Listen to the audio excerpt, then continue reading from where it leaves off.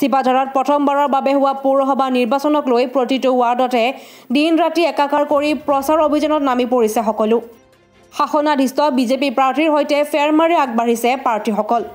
সেয়ে পৌৰসভা এলেকাটোৰ পাঁচ নং ৱাৰ্ডত নিৰ্বাচনী যুদ্ধত এনেদৰে আগবাঢ়িছে নিৰ্দলীয় প্ৰাৰ্থী নিৰুপমা ডেকা।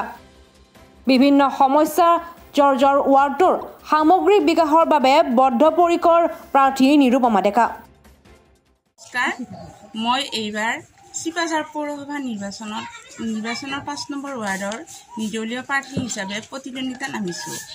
আমাৰ ৱাৰ্ডত বিভিন্ন সমস্যা আছে। ৰাস্তা ঘাটকে ধৰি ইয়াত দুখীয়া মানুহৰ বহুতো সমস্যা আছে। যিসকল মানুহে এতিয়াও চৰকাৰী সা সুবিধাৰ পৰা বঞ্চিত হ'ব লগা হৈছে।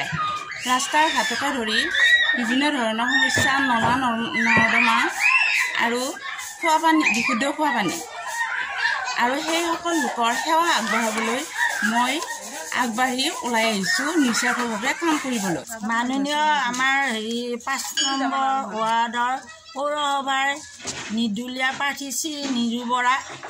ৰাইজৰ ফালৰ পৰা আমি প্ৰাৰ্থী হিচাপে নিৰ্বাচিত কৰিছোঁ যাতে তেখেত এইবাৰ নিৰ্বাচিত জয়যুক্ত হৈ আমাৰ যিখিনি ৰাইজৰ কাম আধৰুৱাই আছে সেইখিনি কাম যাতে তেওঁ সুকলমে কৰিব পাৰে তাৰে আশা কৰি আমি গোটেইখিনি ৰাইজে তেওঁ আমি এইবাৰ আগবঢ়াই দিছোঁ।